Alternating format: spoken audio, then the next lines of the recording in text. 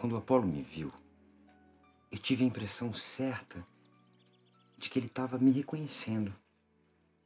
Conhecendo? Conhecendo como? Vocês nem chegaram a se encontrar? Não, sei lá. Vai ver que a gente se cruzou lá em São Luís, eu não sei. Mas que a impressão foi forte, foi.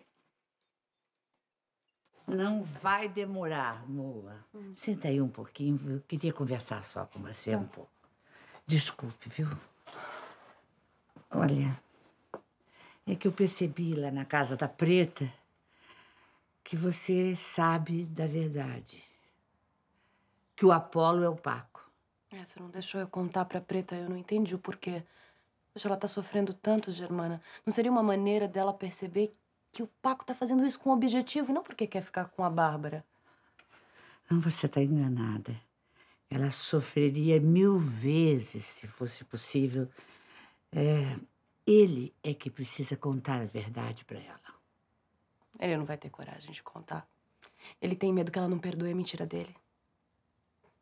Moa, você viu o que aconteceu hoje? Ela não conseguiria perdoar. Agora, se ele contar a verdade para ela, ele ainda tem a chance de ter o amor da preta. E nós precisamos dar essa chance a ele. Você ainda gosta dele? Germana, eu já disse adeus há muito tempo ao Paco.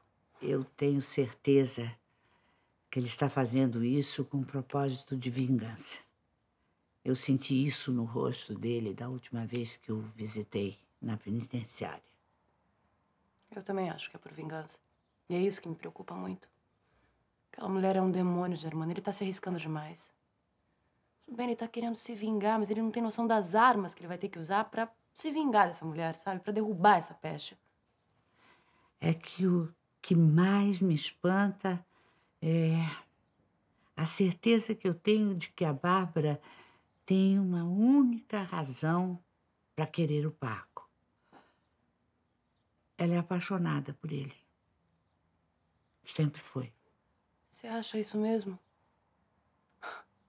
Então o risco que o Paco tá passando é muito maior do que eu pensei.